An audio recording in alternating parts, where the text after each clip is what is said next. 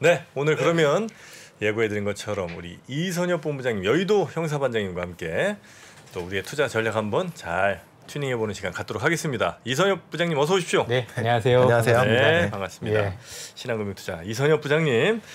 아 요즘 이제 이선엽 부장님이 한 번씩 이렇게 뭐 칠판에서도 저희한테 뭐 이렇게 음. 강의도 해주시고 이럴 때아 듣는 분들이 보통 이제 좀 어려운 얘기들이 많으면 이게 잘 정리가 안 되기도 하는데 아 우리 부장님의 말씀은 정말 하나하나 제가 뭐 정리할 따로 할 필요가 없이 너무 잘 들린다 네네네. 이런 말씀 좀 많이 주십니다. 네. 이선엽 부장님 오늘도 잘 부탁드리겠습니다. 참고로 그 한 이틀 전이었나 우리 네. 김 이사님께서 하고 두 분이서 진행하실 때 네. 베어 로보틱스가 네, 해가지고 네, 네. 로봇 관련해서 한거 어, 보셨을 나오셨었죠. 거예요. 이게 예. 식당에서 서빙하는 네, 로봇 맞습니다. 만드는.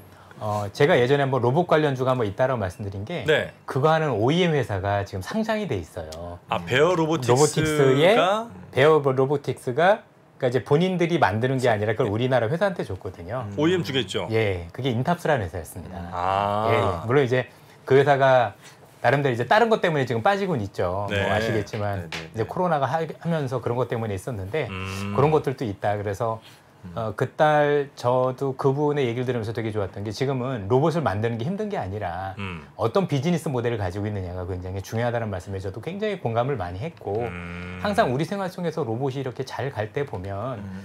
기본적으로 항상 우리를 좀 편리하게 했던 게 굉장히 중요한 거지 우리가 생각하는 것처럼 무슨 로봇 태권보이나 마징가 제트처럼 어마어마한 로봇이 나와서 그런 개념은 아닌 거거든요. 네네. 요즘 잘 아시다시피 또 비상장사긴 하지만 요즘 골프 캐디도 로봇이 있어요. 그래서 음. 생각보다 많은 골프장들이 요즘 캐디가 로봇이 직접 하고 있습니다. 진짜요? 가격도 싸요. 그렇습니다. 그래서 그 로봇이 따라다니면서 뭐 어, 물론 채는 제가 꺼내야 되지만 거리도 알려주고 되게 괜찮아요. 어. 뭐 제주도에 있는 뭐 몇 군데 해설도 그렇고 최근에 많이 생겼거든요. 아 그래요? 우리가 생각하는 것보다 훨씬 사회 전반으로 되게 보급이 많이 되고 있어요. 어. 그러면 향후에 어쨌든 시장이 초기라면 성장할수록 어쨌든 우리가 알고 있는 매출도 늘 거고 이익도 늘어나지 않겠습니까? 음. 규모의 경쟁을 갖추면 아주 자꾸 주식시장을 어렵게 볼 게 아니라 내 주변에서 무슨 일이 일어나고 있는지만 잘 관심을 가지셔도 저는 좋은 기회가 되지 않을까 음. 네네네. 뭐 이런 생각을 기본적으로 좀 갖습니다. 어, 캐디 로봇이 보였더니 또 어, 있군요. 아, 캐디 로봇. 네.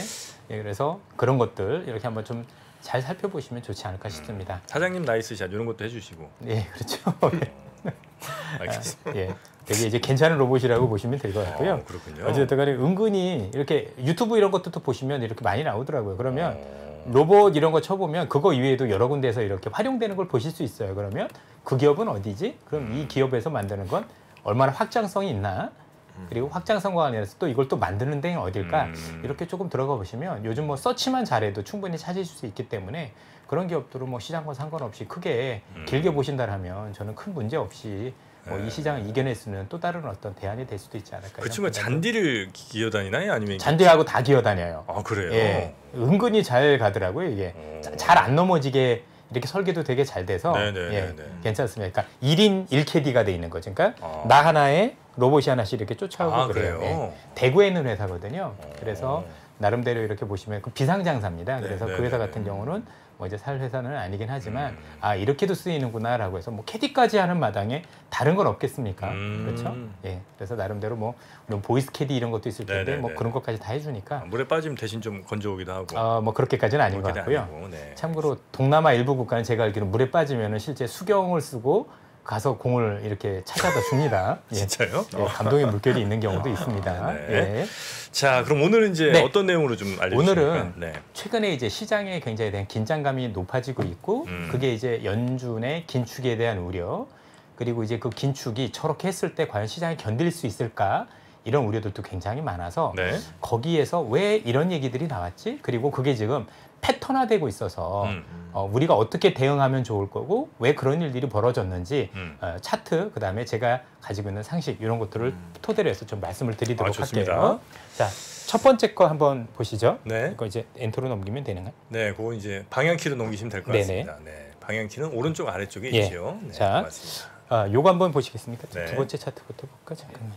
예. 네. 자, 요걸 한번 보시면 되는데요. 이게 미국의 기대 인플레이션 차트예요. 음흠. 이거 매일 보실 수 있어요. 여러분들 보죠? 그냥 어, 네이버 같은 데나 아니면 구글에 이런 데 들어가서 네. forward inflation만 치시면 기대 인플레이라는 얘기잖아요.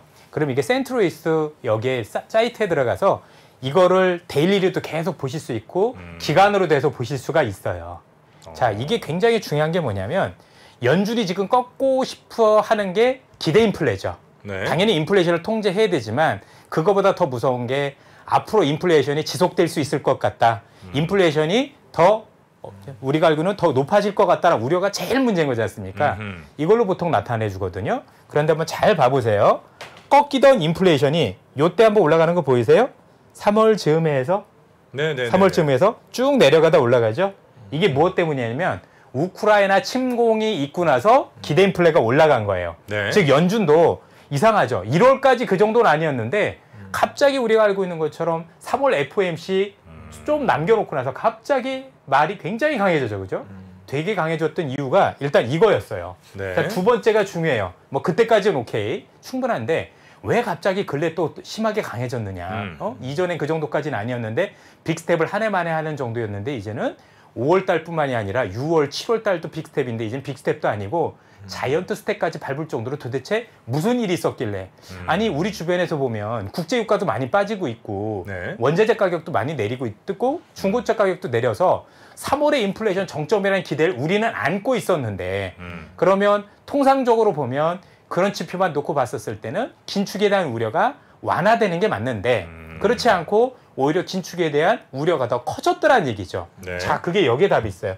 요거 보이시나요? 갑자기 또 빵 뜨죠. 이건 뭐냐면 지금 중국의 봉쇄를 네. 변수가 아니라 상수로 봤기 때문이에요. 자, 다시 한번 정리해 볼게요. 네. 일차적으로는 우크라이나 침공이 변수가 아니라 상수로 바뀌면서 즉 일시적으로 끝나는 게 아니라 앞으로도 언제 끝날지 몰라는 이런 상수로 바뀌면서 한 번 강해진 거고요. 두 번째는 보신 것처럼 중국의 이 봉쇄와 관련해서는 아 이런 봉쇄로 하면 오히려 우리가 알고 오미크론 이거 잡는 것도 굉장히 오래 갈 수밖에 없고 베이징뿐만이 아니라 계속 많은 도시로 번지면서 음. 궁극적으로 이것도 상수가 될 수밖에 없겠다는 걸 봤기 때문이에요. 네, 네. 이게 올라가니까 당연히 연준 입장에서는 이렇게 얘기하겠죠. 파월 의장이. 그래서 이거 가지고 기자회견할 때 3월의 인플레이션 정점론과 관련해서는 너무 섣부르다.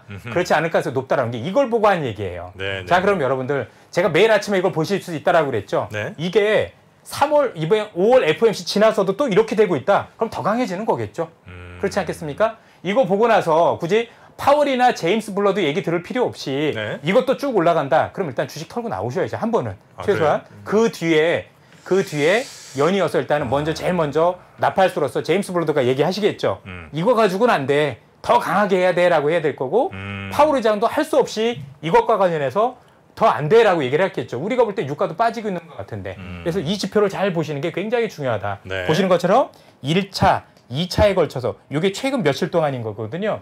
이거 보고 나서 어? 중국의 변수가 상수가 될 수 있어라고 얘기를 했고 그래서 연준 파월 의장이 며칠 전에 있었던 IMF 총회 지자질문에서도 이 얘기를 공식적으로 했어요.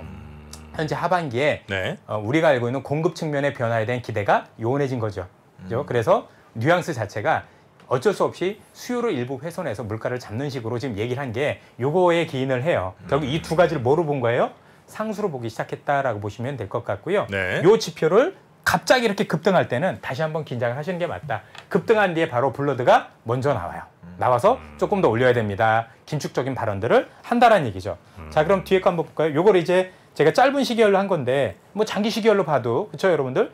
쭉 우리가 알고 있었던 그때 이후에 기대 인플레이션 올라가다 잘 꺾였어요. 그래서 하반기에 혹시 뭐 공급 변화 있지 않을까 싶은데 쭉 올라가고 쭉 올라가 버리죠. 그렇죠? 이런 것들과 보면서 보시면 여러분들이 충분히 어, 이것과 관련해서 좀 대응도 가능할 거다라고 보시면 되겠습니다. 네. 자, 보시는 것처럼 이건 좀 지우고 보세요. 그렇게 했더니 어떻게 돼요? 5월엔 당연히 50bp인데 아, 6월 기준금리 인상에 보시면 불과 얼마 전까지는 한 달 전에 16%밖에 안 됐던 75p 인상이 갑자기 77%까지 올라왔어요. 어. 그죠? 그리고 불과 여러분들 일주일 전에만 해도 50%밖에 안 되는 이렇게 아니 무슨 이런 금리 인상에 대한 우려가 갑자기 일주일 만에 확 바뀌고 그래요? 아까 그것 때문이에요. 그 지표 올라가는 거. 그래서 우리 개인 투자분들 그래서 세련되게 이제 불러드 얘기까지 들을 필요가 없죠. 네. 굳이 안 해도 저게 올라가면 불러드는 또 심하게 얘기할 거다. 우리 입장에서는 또 불편한 시장이 전개될 수 있겠다. 라고 보시면 될 것 같아요. 이게 먼저 움직여요. 네. 먼저 움직이고 그걸 바탕으로 얘기를 하기 때문에 또 반대로 얘기해서 저게 정말 유의미하게 확 꺾여져 내려간다. 음. 그러면 기존에 있던 우리가 알고 있었던 긴축에 대한 우려보다는 뭐 완화까지는 아니겠지만 우리가 생각하면 조금 더죠 편한 거로 갈 수도 있다. 이렇게 보시죠. 왜더 강해지진 않을 거니까. 얼마마다 나오는 거예요, 저건? 이거 매일에 한 번씩 나와요. 매일 나와요? 예, 예. 그래서 계속 확인해 보실 수 있습니다. 어. 보시면 이게 daily로도 가능하고 weekly도 가능하고 계속 보실 수 있기 때문에 네, 네. 미세한 변화까지 그것도 기간별로도 다 보실 수가 있습니다. 그 그냥 사이트만 치고 들어가서 보면 되게 쉽게 네. 보실 수 있는 그러네요. 사이트니까 네. 한번 보시면 되겠죠. 그래서 그 여부가 여기에 그대로 반영이 돼요. 그렇죠? 음. 그런데 되게 웃긴 건 뭐냐면 제임스 불러드 총재는 여기 반영되는 게 바로 반영되는 게 아니라 꼭 얘기를 통해서 반영이 되는 거니까 음. 우리는 먼저 어 저게 또 여기서부터 한 단계 또 레벨업 되네. 그럼 긴장 많이 해야 되죠. 네. 그렇게 되면 경기 훼손을 더 해가면서까지 더 긴축한다고 얘기를 할 수 있으니 음흠. 사실 우리 입장에서 일단은 지수가 어느 정도 반등할 때 다시 한번 주식 비우고 네. 싸게 살 수 있는 기회를 기다릴 수 있는 그런 아이디어도 될 수 있다라는 측면에서 제가 오늘 이걸 좀 가지고 와봤습니다. 오늘 뭐 다른 건 모르겠는데 네. 요두 가지만 가지고 가신다라고 해도 음. 향후 시장에 대해서 그래도 위험한 소나기는 피할 수 있는 아이디어가 충분히 될 수 있다 이렇게 음. 말씀을 드리고 싶습니다. 네. 자, 이것도 뭐 아까도 보여드린 거지만 뭐 7월에 금리 인상에 대한 뭐 이런 것들도 지금 13%에서 71%까지로 한 달 만에 그렇죠? 그리고 이런 거 쭉 보면은 네. 갑자기 벌어진 일이란 얘기죠. 그래서 뭐 저희들 시험하는 분들한테 저희들한테도 니네 왜 자꾸 틀리느냐 이렇게 변하는 거 저희들이 맞추기가 쉽지는 않습니다. 제가 이제 운이 좋아서 어디 지리산 가서 이제 용안 뭐가 이렇게 바꿔오지 않는 한은 쉽지 않을 거라고 생각하시면 될 것 같고요. 네. 그만큼 지금 연준이나 경제를 보시는 분들도 음. 지금 상황이 이렇게까지 될 거라고 아무도 예상을 못했던 부분들이 다 가고 있다. 이렇게 보셔도 될 것 같아요. 네. 잠깐 제가 뒤에부터 땡겨서 뭐 하나 좀 보여드리도록 할게요. 음. 지난번에 했던 거 부연 설명 드릴게요. 네. 이게 무슨 자리냐면 여러분들 중국에서 중국에서 지난번에 좀 오해가 있으신 것 같아서 중국의 가오카오라는 게 이제 우리로 얘기하면은 수능이잖아요. 여기서 봤던 분- 굉장히 성적이 좋으신 분들이 서- 어느 학과를 갔나를 통계로 이렇게 나온 거예요. 자료가 꽤 많이 있거든요. 보시면 여러분들 의대가 거의 제일 밑바닥에 있는 게 보이세요? 네. 선호학과. 선호학과가 제일 많은 게 경제학이에요. 그다음에 공상관리 뭐 이런 거. 자, 우리도 자 대학교 다녀보면 선호학과가 점수가 제일 높죠. 그렇죠. 아, 당연히 그렇지 않습니까? 의대가 제일 선호가 많지 않나요? 네. 그리고 그렇게 선호학과들이 점수가 높다라는 얘기는 그게 돈벌이가 되기 때문이죠. 음. 앞날이 창창하거나. 그럼 이거는 그렇지 않다라는 얘기인 거잖아요. 음. 그래서 지난번에 제가 말씀드릴 때 그래서 선호 학과별로 이렇게 놓고 보면 딱 보면 점수 순위가 나오죠. 음. 그렇죠? 그래서 제가 뭐라고 했더니 약간 좀 야 여기도 공부 잘하는 애들이 가는 거야. 맞아요. 이렇게 생각하시면 돼요, 여러분들. 서울대는 어떤 과도 공부를 다 잘해야 가요. 서울대는 어떤 과를 가도 다 1등이 가시는 거예요. 그러나 그 안에서도 분명히 점수 차이는 극명하게 나뉩니다. 음. 모든 대학들이 그렇죠. 어떤 대학이든 그 대학에 들어가서 최선호 학과와 그렇지 않은 학과의 점수 차이는 우리가 인정하기 싫어도 분명히 있는 거고요. 네. 이게 그대로 통계로 나타난다. 이게 중국의 의료 현실이다라는 첫 번째 얘기를 먼저 드리고 싶고요. 네. 두 번째 한번 보시죠. 자, 중국 같은 경우 지금 문제가 되고 있는 게 뭐냐면 물론 이제 체제에 대한 얘기도 굉장히 중요한 건데요. 음. 보시는 것처럼 노년층이 백신을 맞은 퍼센트가 50%밖에 안 돼요. 절반은 백신을 맞으셨고 절반은 백신을 안 맞으셨어요. 중국이? 네. 어. 우리가 알고 있는 젊은 층은 80%까지 맞았어요. 노년층이 더 많이 맞아야 되는 거 아니에요? 희한하게 안 맞았더라고요. 어. 안 맞은 것도 문제인데 아시겠지만 중국에 있는 그 물백신이라는 백신이 네. 우리가 중증을 맞는 유효성이 현재 우리가 맞은 모더나나 파이자보다도 절반 수준으로 나와 있어요. 음. 그러면 어쨌든 나이 드신 분들이 훨씬 더 장년층인 분들이 어, 코로나에 걸렸을 때 더 중증으로 할 확률이 높고 위험한데 그렇죠. 그나마 많이 맞지도 않았다라면 음. 사실 만약에 이거를 우리처럼 확 풀었을 경우 생기는 현상에 대해서 한번 고민을 해보셨습니까? 그렇죠? 전 이거 볼 때 감당 안 될 것 같은데요. 음. 그 다음에 이것도 한번 봐보세요. 천명당 의사고 간호사 숫자도 중국이 현저히 낮죠. 그렇죠? 의사분들이나 간호사분들이 중국에도 굉장히 숫자가 굉장히 부족하다라는 걸 뜻하고요. 이것도 중국에서 살아보신 분들은 알겠지만 전체적으로 또 도시와 농촌 간의 격차도 굉장히 심해요. 네. 경상수도 선진국 대비 지금 중국이 30%밖에 안 됩니다. 음. 그럼 그냥 객관적으로 얘기를 하면 오미크론 확 풀어놨다. 그러면 일단 번지는 거는 뭐 같지만 중증으로 갈 확률도 우리보다 몇 배 이상 높고 중증으로 갔었을 때 그걸 치료 못할 가능성이 굉장히 높아지죠. 음. 과연 이거를 어떤 정부가 견딜 수 있을까에 대한 고민이 아마도 현재 봉사와 관련이 있지 않겠느냐라고 말씀을 드릴 수가 있을 것그 같습니다. 우리가 볼땐 너무나 비상식적인 봉쇄인데 그럴 수밖에 없는 이유가 이유도 되는 거죠. 뭐 거죠. 단순히 우리는 뭐 주석께서 뭐 나중에 보면 뭐 재임 이것만 생각을 하는데 실제 놓고 보면 그렇지 않을 수도 있는 거죠. 음. 그렇죠. 내 가족이 한번 그렇게 죽는다고 생각하면 네. 거기에 대한 핑계를 누구한테 돌릴까요? 정부 중국은 핑계를 돌리는 것이 한 군데밖에 없어요. 우린 여당 야당이라도 있지만 거기는 당이 하나예요. 네. 그죠? 오로지 저분밖에 없는 거잖아요. 음. 그렇게 했었을 경우 거기에 대한 게 굉장히 우려가 된다. 그래서 이게 지금 변수가 상수가 될 수밖에 없다. 이렇게 볼 수가 있겠습니다. 네. 여러분들 생각보다 재밌지 않습니까? 그리고 제가 요것뿐만이 아니라 네. 제가 북경대에서 강의도 하잖아요. 지금요? 아니 지금은 안 하지만 이전에까지는 북경대에서도 햄 1년에 한 번씩 강의, 강의도 했었었고 어. 또 저희 주변에 아시겠지만 중국에서 대학 나온 분들도 굉장히 많으세요. 네네네. 그래서 이분들한테 일부러 여쭤봐요. 음. 실제 당신들이 졸업한 대학에서 의대가 순위가 어느 정도가 되느냐 다 음. 물어봐요. 전체적으로. 그럼 다 객관적으로 알지 않습니까? 음. 전체 여기가 인기 있고 이건 그 정도는 아닙니다라고 얘기를. 물론 중요한 것그 대학들이 워낙 좋은 대학이라 거긴 다 1, 2등이 들어가는 게 맞긴 맞아요. 음. 거기에는 이견이 없지만 1, 2등도 질적으로 차이가 있는 거잖아요. 음. 그렇죠? 그런 측면에서 말씀을 드리는 거니까 마치 제가 전현번에 꼴찌처럼 얘기한 것처럼서 조금 잘못 얘기하지 않았나 싶어서 객관적인 데이터를 보고 여러분들이 네. 한번 보시면 도움이 되지 않을까라는 생각을 기본적으로 갖습니다. 네. 궁극적 여러분들 뭐 댓글 다신 분들 그렇던데 맞는 게 중국에서 의사가 돈이 잘 안 돼요. 임금이 생각보다 많이 네. 낮고 공부하긴 진짜 어려워요. 음. 의대 다니셨던 분들 얘기 들어보면 너무 힘들다. 졸업하기도 쉽지 않고. 어, 느 나라 의대나 의대는 힘들죠. 그럼요. 되게 힘들죠. 사람의 목숨을 다루는 건데. 돈이 좀 더 되는 나라가 있고 안 되는 맞습니다. 나라가 있고. 예. 뭐 제가 아는 외과 의사는 원래 외과 의사하고 순대집 사장님하고 차이는 익은 걸 써느냐, 날 걸 써느냐, 뭐 그 차이라고 보통 제가 일단 혼난 적도 있는데 어찌됐든 칼질은 네, 네. 순대국 사장님이 더 잘하시는 걸로 일단은 알고 있습니다. 네. 자르는 거 가지고는. 근데 어쨌든 보시는 것처럼 네. 이 순이 결국은 돈이 되는 순서겠죠. 네. 그렇죠? 여기를 나왔으면 향후에 큰 돈을 벌 가능성이 높다라는 게 이 순서다라고 음. 보셔도 될 것 같습니다. 네. 그래서 여러분들 아 중국이 이런 어떤 우리가 보이지 않는 또 음. 어, 굉장히 큰 그 아픔도 있구나라는 부분들도 알고 중국에 대한 계시면 투자는 당분간 더 조심하는 게 낫습니까? 오늘 그렇지 않다라는 얘기가 나왔죠. 왜냐하면 지금 중국에서 어, 중국 공무원들한테 음. 지금 뭘 했냐면 이 공무원들 이 점수를 매기잖아요. 그죠? 네. 평가를 내릴 때 음. 얼마나 방역을 잘했느냐 가지고 평가 지표로 삼았더라고요. 음. 그러다 보니 그 사람들 입장에서 철저하게 할 수밖에 없는데 이게 너무 강하다 보니 오늘부터 일부 완화한다는 얘기가 들려서 그래서 화장품들도 뜨고 그랬지 않습니까? 음. 그래서 그동안 너무 강해서 이 부작용이 너무 심하니까 그렇게까지는 하지 말고 조금은 조금 완화해도 돼라는 게 현재 중국 정부의 지침으로 리커창 총리가 얘기한 걸로 알고 있습니다. 네. 어쨌든 우리가 생각하는 극단적인 것까지는 정점을 좀 지나지 않았느냐 이렇게 좀 시장을 바라보셔도 되지 않을까라는 판단이 드네요. 음. 어쨌든 시장 그걸 그대로 반영했다라고 보셔도 될 것 같아요. 네. 다시 한번 앞으로 들어가서 볼게요. 자, 그러면 중요한 건 뭐냐면, 자, 잘 보시면 뒤에 것부터 보도록 하겠습니다. 자, 패턴이 있어요. 자, 무슨 말씀을 드리고 싶은 거냐면, 이게 빅스 지수입니다, 여러분들. 네. 말 그대로 이게 공포 지수라는 거죠. 음. 그죠? 뭐, 원래 이제 발러틸러티 인덱스라 그래 가지고, 옵션 내지 변동성이라는 뜻인 건데, 그냥 쉽게 보면 이게 올라가면 시장을 바라보는 게 굉장히 공포스럽다는 얘기가 되는 거고, 요게 내려오면 시장에 대해서 조금 안정적으로 바라보고 있다. 이렇게 판단을 해보셔도 되는 지표인데요.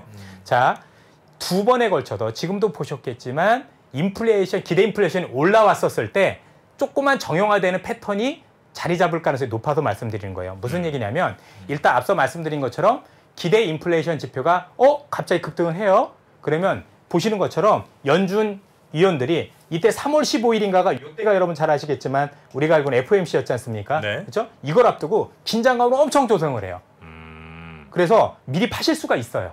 그거 올라온 다음에 이게 올라오거든요. 그 발언을 통해서 뭐 블러드 총재 얘기하고 그 뒤에 분들 얘기하면서 굉장히 긴장감들을 높여요. 그래서 생각보다 긴축에 대한 우려가 엄청 강해요.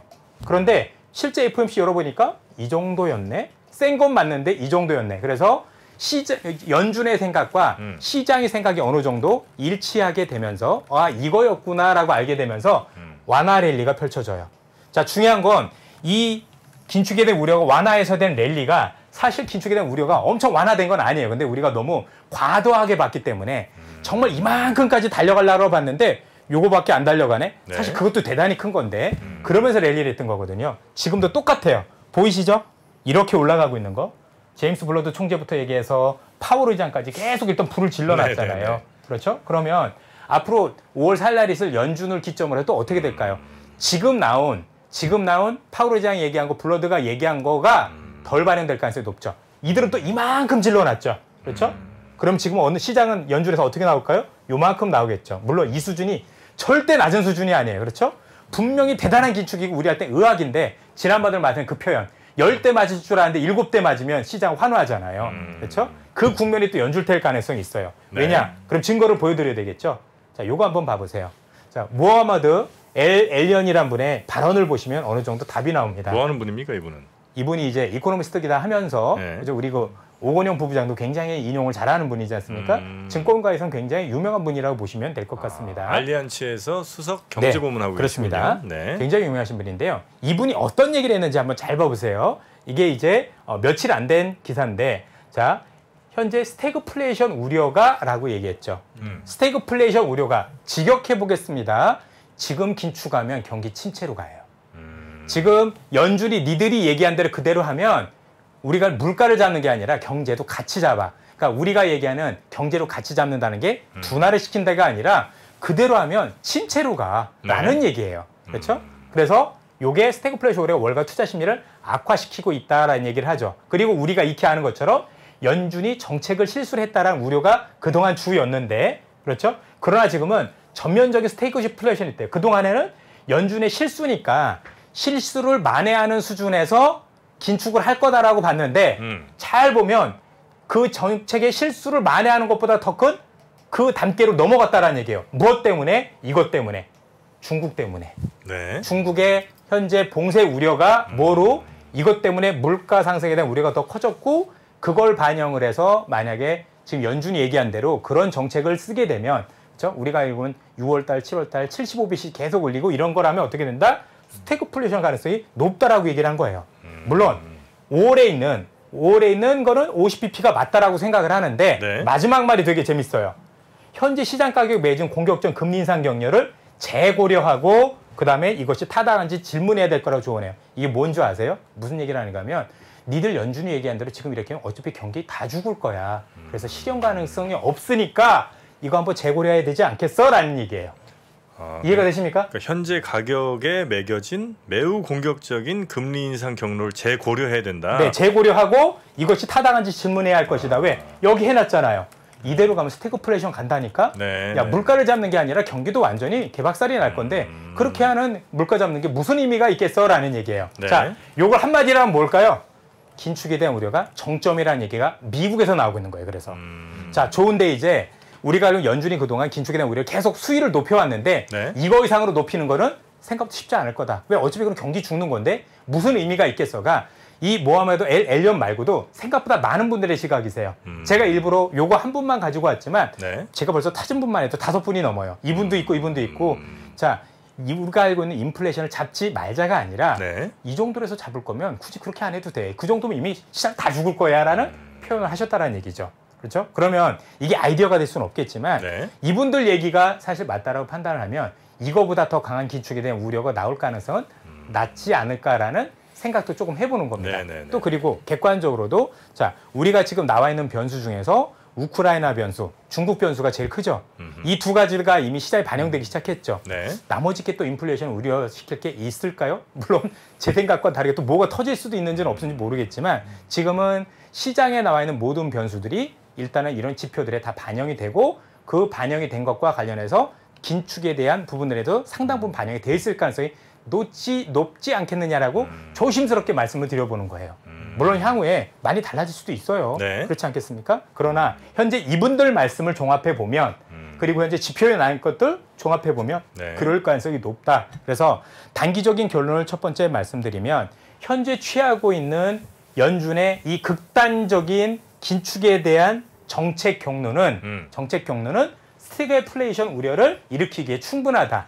그 의미는 뭐냐면 어차피 경기도 이 스태그플레이션이라는 얘기는 경기를 둔화시킨 게 아닙니다. 침체로 몰고 가는 거예요. 네. 침체로 몰고 갈 정도면 무슨 의미가 있겠어라는 얘기입니다. 그렇게 할 거면 안 하느니만도 못하지 않아? 그래서 어떻게 돼요? 이것이 타당한지 질문 좀 해봐. 그리고 이 경제적으로 재고려해 봐야 되지 않겠어라고 얘기를 하는 거예요. 그렇죠? 왜 무엇 때문에 중국까지 반영이 돼서 이러면 이거 쉽지 않을 텐데라고 얘기들을 계속 하고 있다. 네. 그래서 실제 이분의 말씀을 얼마나 연준이 들을 거고 또 시장이 얼마나 반영이 될지 알 수는 없으나 지금 글로벌 시장에서 돌아가고 있는 것들은 뭐냐면 이렇게까지 하면 경기가 살아남겠어?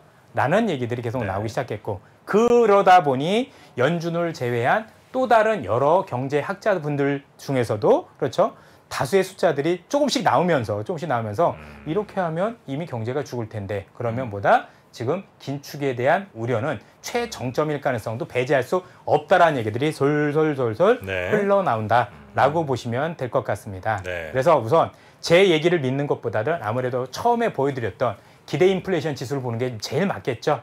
그걸 통해서 더 올라간다라면 굳이 시장에 참여할 필요는 없지 않을까. 그렇죠? 근데 그 지수가 자꾸 내려간다면 자꾸 내려간다면 어쨌든 지금 봤던 긴축에 대한 경로는 최정점일 가능성이 높다. 이렇게 받아들이시면 좋지 않을까요? 그렇죠? 그래서 아까 말씀드렸던 기대 기대 인플레 지표, 인플레 지표가 올라가면 할 말이 없고, 근데 이게 내려가는데 연준의 바람은 여전히 현재와 다르지 않다라면 이거는 곧 완화된다라는 쪽으로 무게 중심을 댄다. 그럼 이건 어떻게 하면 돼요? 이때는 사셔도 괜찮겠죠. 네. 근데 재미있는 건 앞서도 말씀드렸지만 지표가 먼저 나와요. 음. 지표가 먼저 나오고 연준 의원들 외는 발언은 그게 일정이 정해져 있어서 그날 나오진 않거든요. 며칠 뒤에 나오고 며칠 뒤에 나오고 그러기 때문에 우리가 충분히 대응할 수 있는 시간을 준다라는 게 핵심적인 부분입니다. 음. 그래서 뭐 우리가 괜히 뭐 서로 소설을 쓰는 것도 이제 서로 민망하라고 네. 괜히 없는 얘기하는 것보다도 이런 지표를 먼저 보고 지표에 따라서 연준이 어떤 말을 할지 우린 미리 알 수 있지 않습니까? 기대할 수 있잖아요, 그죠? 앞으로 더 강하게 발언할 것인지 강하게 가져갈 것인지 또는 더 현재보다는 완화적으로 가져갈지 이제 알 수는 없으나 네. 이걸 통해서는 미리 어쨌든 간에 정도의 차이지 짐작은 가능하겠다.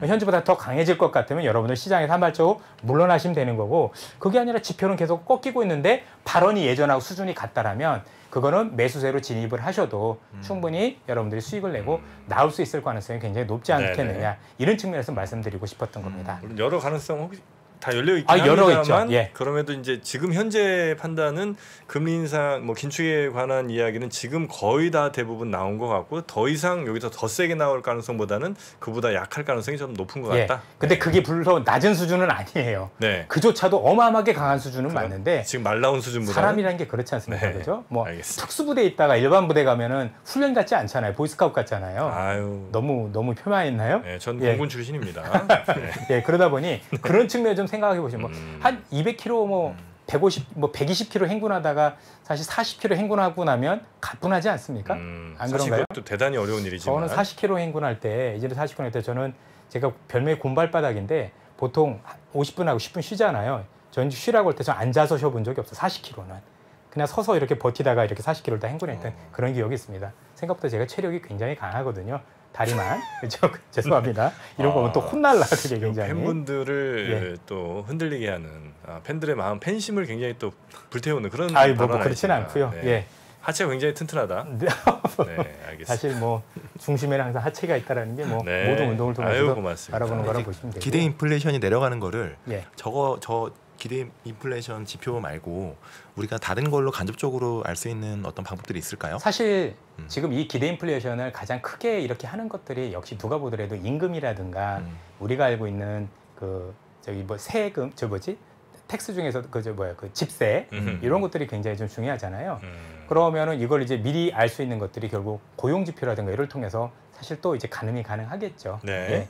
그래서 지난번에도 말씀드렸다시피 아직까지는 단순 기대 수준이지만 음. 어쨌든 미국에서 5월부터는 이민을 받기로 했다. 네. 이민이 본격적으로 재개되면 어쨌든 음. 노동시장에 노동시장에 진입하는 노동자들은 많아지는 거니 음. 분명히 그거보다 일자리가 훨씬 더 한다면 상관이 없겠지만 음. 어쨌든 현재 일자리가 그대로라고 가정을 하고 네. 노동자들이 많아지면 임금 상승률은 하반기에 둔화될 가능성은 높지 않겠느냐라고 기대할 수 있는 게 이걸 볼 수 있는 또 하나의 팩트가 될 거라고 생각을 하고요.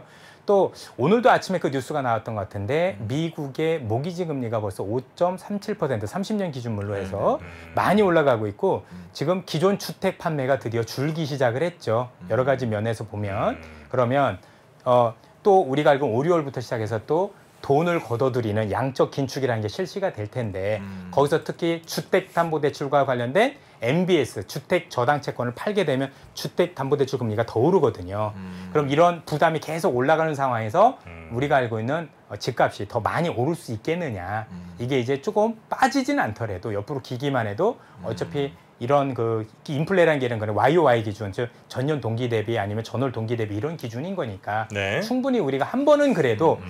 이런 기대와 관련해서 충분히 한번 기대해 볼 수 있지 않냐 얘기를 한번 해볼 수가 있을 그러니까 것 이제 같아요. 인플레가 네. 이렇게 스무딩하게 이제 다운턴 슬로프 함- 하면 좋은데 어 아무튼 YOY니까 그 높은 수준은 유지되는 게 그게 가장 문제죠. 그게 제일 예. 걱정이잖아요. 사실 음. 그말 김타 기사님 말씀대로 그 높은 수준을 유지하기 때문에 네. 연준 입장에서는 확 완화로 돌아설 가능성 그래서 없는 거죠. 그렇죠. 사실 그게 네. 누가 보더라도 유의미하게 지표로 말씀드리면 올해 지금 나오고 있는 인플레이션이 지금 8.5%인데 현재 이 수준이 올해 말에 4%까지가 연준의 목적 아닙니까? 네. 내년엔 2%로 묶는 거고 음. 그건 지금 8에서 4까지 떨어지려면 생각보다 많이 떨어져야 되는 건데 네. 이게 뭐 예를 들어서 8에서 7 정도까지 떨어지면 그게 긴대의 인플레이션이 잡힌 거냐? 그렇진 않은 거죠. 그렇죠. 우리가 보는 거는 그거보다 더 긴축을 세게 안 할 뿐인 거지 음. 이 긴축을 풀 가능성은 없는 거죠. 그래서 연준은 아마도 회의가 있을 때마다 일정 부분의 긴장 수준은 항상 우리한테 줄 네. 가능성은 있는데 음. 기대 인플레이션이 훨씬 더 높아지면 그 긴장감을 더 강하게 가져갈 거고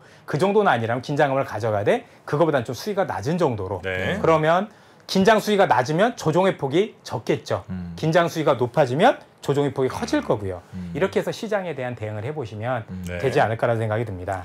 그럼 만약에 이제 기대했던 아, 혹은 뭐 이제 시장이 지금 반영하고 있는 것보다 조금 금리 수준이 낮아지는 그러니까 약간은 그때보다 걱정했던 것보다 좀 덜한 상황이 될 때 우리는 뭐 들어가면 제일 좋습니까? 그거는 조금 이따 말씀드리도록? 하고요. 아. 어, 또 한번 요걸 한번 봐보시죠. 뭐냐면 않은데. 이게 국제유가 흐름이에요. 네. 어, 제가 원래 기술적 분석을 썩 그렇게 좋아하는 편은 아닌데 네. 뭔가 고점에서는 자꾸 이렇게 좀 내려오고 있는 모습이 보이죠. 음. 자 그런데 한 가지 상식이 더 있어요. 아이고 제가 이게 국제유가 장기 시계물을 안 가져왔네. 음. 국제유가를 장기적으로 보면은요. 네. 국제유가는 완만한 상승, 완만한 하락은 없어요.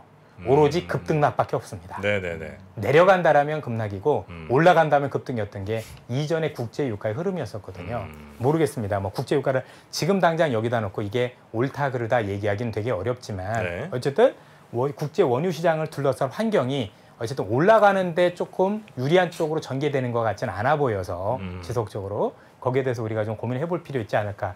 요 얘기를 드린 이유는 자, 이 국제 유가가 여기서 조금 유의미하게 내려가면 저는 뭐 지난번부터 요 유가가 좀 내려갔다는 말씀드렸는데요. 네. 우리나라만 놓고 보면 경상수지가 흑자로 돌아서요. 음. 그럼 최소한 환율이 안정이 될 수 있습니다. 최소한 그죠? 엄청나게 내려오지는 않아도 지금 환율 되게 불안하지 않습니까? 음. 원달러율 경상수지 흑자 되려면 네. 만약에 유가가 생각보다 많이 내려서 나오는 현상들이 나오면 나오면 생각보다 대형주가 유리하다. 음. 지금 대형주가 제일 부진하거든요.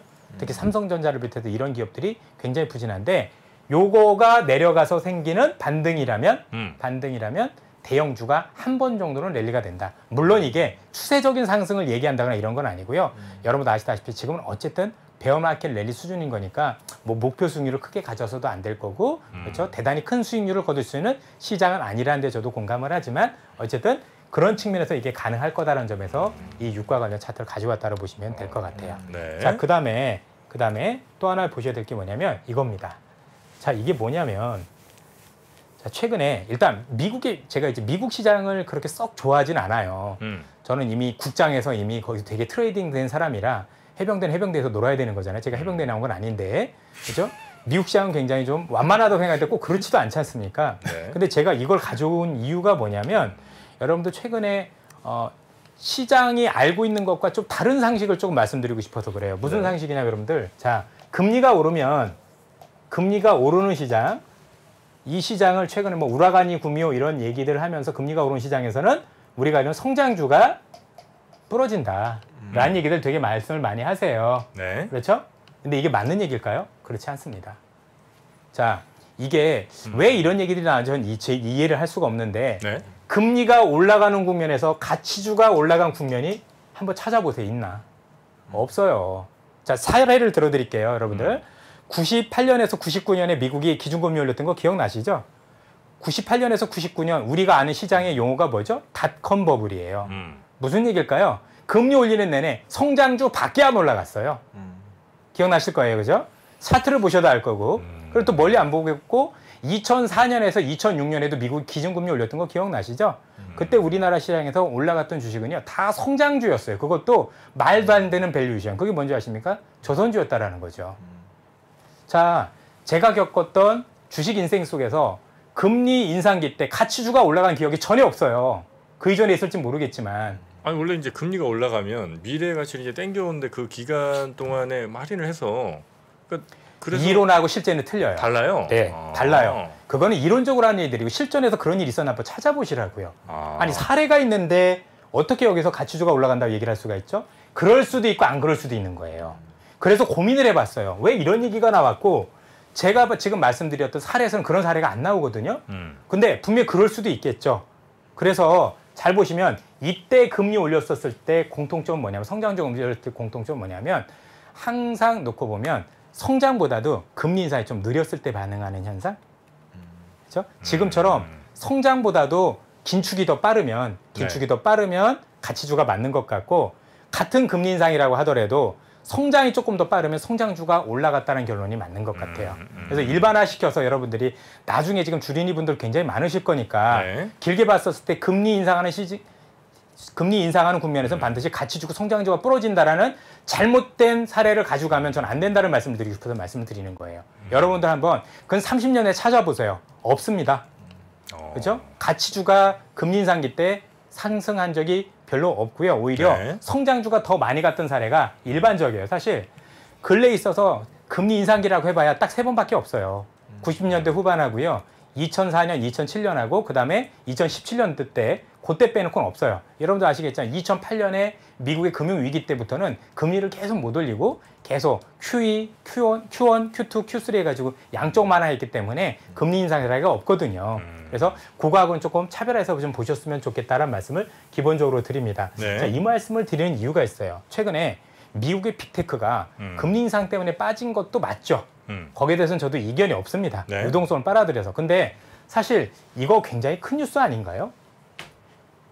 자, 이게 현재 미국에서 제안된 빅테크 규제 방안이에요. 네. 단독점법. 여러분들 우리나라 카카오하고 네이버가 왜 지난해 9월부터 하락하기 시작했는지 기억 안 나십니까? 금리 인상 때문에 하락했던 게 아니라 규제 때문에 하락하기 시작을 했을 거예요. 그렇지 않았나요? 그런데 미국도 그 규제가 이렇게 많이 나와 있는 거죠. 물론 이게 아직 올라가 있는 거지 실제 법제화된 건 아닙니다. 음. 보시면 플랫폼과 관련된 반독점 규제와 관련된 규제가 미국에서 본격적으로 시작된 거죠. 음, 논의가 시작됐다는 그렇습니다. 거죠. 네. 논의가 시작된 거죠. 논의가 시작됐다는 얘기는 음. 앞으로 빅테크 기업과 관련해서는 생각보다 주가의 흐름이 음. 굉장히 울퉁불퉁할 수밖에 없는 뭐 여기가 바닥일 수는 있겠으나 음. 올라가는 과정 속에서 각각의 법안에 따라서 피해가는 기업도 있을 거고 안 그런 기업들도 있을 거고 또 이게 법제화 안될 수 있는 거지만 이런 부분을 이제 따져보시면서 관련 기업들을 모니터링 하실 필요가 있는 걸로 다가왔어요. 이미 우리는 먼저 경험을 했죠. 규제와 관련해서. 네. 근데 미국도 시작이 되는 거죠. 어차피 최근에 미국의 플랫폼 기업이 많이 빠진 이유는 사실 가장 큰 이유는 이거였죠. 자, 우리가 지난 2년 반 동안 전 세계 모든 인구가 집에 콕 틀어박혀 있었어요. 그러면서 이 환경을 즐긴 거죠. 네. 그런 성장이 앞으로도 평생 나올 가능성은 없죠.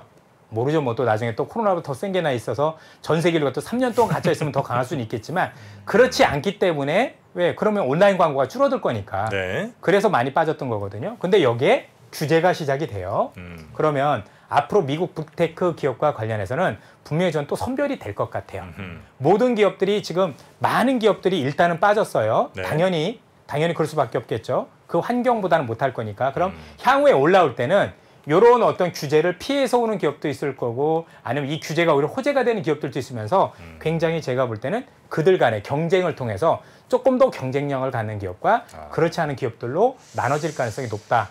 그래서 말씀드리고 싶은 부분은 뭐냐면 미국의 빅테크 기업을 무조건적으로 길게 보고 투자하는 거에 대해서는 지금은 한번 고민할 필요가 음. 있겠다. 많이 빠졌더라고요. 그렇습니다. 지금. 너무 많이 빠져서 네. 사실 일정 부분 그런 거 다 반영한 걸로 보여지지만 네, 네. 이 과정 속에서 이제 여기서 조금 더 좋아질 기업과 그렇지 않을 기업이 조금씩 나눠가는 과정이 되지 않을까라는 생각이 듭니다. 네. 그래서 옛날에 저 여러분들 어, 뭐 표현이 좀 그렇긴 한데 예전에 2000대 초반에도 원래 브릭스라는 단어가 있었어요. 브릭스. 네, 신흥국 다섯 개가 네네네. 굉장히 좋아. 그러다가 결국 몇 개가 부러져 가지고 러브라고 해 가지고 또 한두 개 기업으로 막 한두 개 국가로 음. 좁혀지고 기억나시죠? 이런 것처럼 결국 다 보면 그렇게 좁혀져요. 네네. 그럼 여기도 마찬가지라는 얘기죠. 현재 있었던 모든 플랫폼 기업들이 다 빠졌으니까 다 같이 올라온다가 아니라 그 다음부터는 이런 것과 관련해서 또될 음. 기업과 안 될 기업이 나뉠 가능성이 높다는 네. 점에서 사실 모든 기업을 다 우리가 장기 투자의 대상으로 삼을 게 아니라 그 기업들이 가지고 있는 고유의 모델도 좀 많이 따져봐야 될 거고 네. 이 법안과 관련해서도 굉장히 음. 우리가 따져봐야 될 거고 참고로 요 법안들이 나오면서 혹시 가장 좋은 사례가 되는 게 뭐냐면 벌금 세게 맞으면 좋습니다. 자, 앞서도 말씀드렸던 플랫폼 기업은 플랫폼 세게 기업은 맞으면 좋다고요? 독점적 구조를 가져가는 게 사업 모델의 핵심이에요. 내가 계속 독점적 구조를 유지할 수 있으면 그래서 나온 게 반독점법인 거지 않습니까? 네. 독점을 못하게 하는 게 제일 문제거든요. 음. 그런데 벌금을 때린다는 얘기는 독점은 허용해 줄게요. 벌금은 일회성입니다. 그래서 어. 이런 법안과 관련해서 그 벌칙이 너 이번에 벌금 세게 맞아 라고 해서 끝나면 그 벌금 맞을 때 사시는 게 좋아요. 어. 그러니까 가장 큰 핵심은 현재 있는 기업들이 독점적 구조를 앞으로도 유지할 수 있는 방안으로 규제가 진행이 되느냐 오. 아니면은 현재 독점적 구조를 더 이상 못 가져가게 이게 방해를 하느냐가 굉장히 중요한데 만약에 있는 사업 모델에서 독점적 구조를 못 가져가게 되면 그건 무조건 파셔야 돼요. 어. 사실 거기서부터 사망 선고라고 보셔도 될 것 같고요. 어. 벌금으로 때렸어. 그 얘기는 뭐예요? 예, 그거는 독점적 구조는 허용해 줄게. 근데 어. 네가 너무 피해를 많이 했으니 이 정도 벌금은 내라죠. 일회성 요인이에요. 그 뒤부터는 다시 득점이 될 거니까 이익이 드러나는 건 시간적으로 문제가 없을 것 그러니까 같다는 말씀을 드리고 다, 싶어요. 다른 말로 이제 이렇게 저는 뭐 이해하는 하거든요. 비즈니스 모델을 건드리면 제가 볼 땐 그건 굉장히 할인 요인이 되고 음, 단순히 그냥 one-off 일회성적인 어떤 그냥 비용의 이슈로 맞습니다. 끝나면 네. 어, 저는 그냥 악재가? 해소됐다고 음. 볼수 네. 있는 거죠. 맞습니다. 굉장히 세련된 표현이신데 네. 맞습니다. 비즈니스 모델을 건드리는 게 제일 문제인 거겠죠. 네, 네. 그리고 얘네들은 그 비즈니스 모델 자체가 네. 내가 이렇게 해서 사람을 모아서 독점적 구조로 가져가겠다고 지금까지 성장을 했지만 음흠. 지금까지 왔던 이게 우리나라부터 사실 제일 먼저 시작이 됐고 중국부터 했네. 음. 중국이 됐고 한국이 됐고 이제 미국까지 온 거니까 요것만 놓고 보면 단순히 플랫폼 기업이 정말 많이 빠졌으니까 음. 모든 기업들 많이 빠진 것부터 사봅시다라는 건 조금 고민을 하셔야 될 타이밍이다. 네. 분명히 좋아지는 기업도 반드시 있어요. 음. 그러나 그렇지 않은 기업들도 나올 가능성이 높다라는 점에서 네. 이제는 뭔가 종목에 대한 선별을 해야 될 필요성이 있겠다라고 말씀을 알겠습니다. 기본적으로 뭐좀 종목 얘기를. 좀 더 여쭤보고 싶지만 시간이 예. 또다 돼서 그 종목 얘기는 그러면 다음에 또 와서 제가 또 예, 좋은 말씀을 드리도록 하겠습니다. 예, 종목 얘기 다음에 꼭 알겠습니다. 해주셔야 아, 됩니다. 그럼요. 예, 네, 예, 예. 알겠습니다. 자 오늘 또 고생해주신 네. 여의도 수사반장 우리 아 정말 고생 많으셨던 이선엽 부장님 음, 다음 주 혹은 다다음 주에 꼭 뵙도록 하겠습니다. 다음 주는 5월 5일이라 다음 주 아 다음 주. 아, 예, 또 이렇게 쉬네요. 네, 그러면 다다음 주에 뵙겠습니다. 네. 대단히 고맙습니다. 예, 수고하셨습니다. 네. 감사합니다. 오직 위즈덤 칼리지 수강생들을 위한 프리미엄 특전 릴레이를 소개합니다. 올 한 해 지혜의 풍요와 더불어 삶을 풍성하게 보내실 수 있도록 3프로TV가 전격 지원해 드립니다. 의자계의 명품 허먼 밀러 1년간 쭉 50만 원 특별 지원해 드리고요. 5월에는 무려 3개의 문화 특전을 더 쏘겠습니다.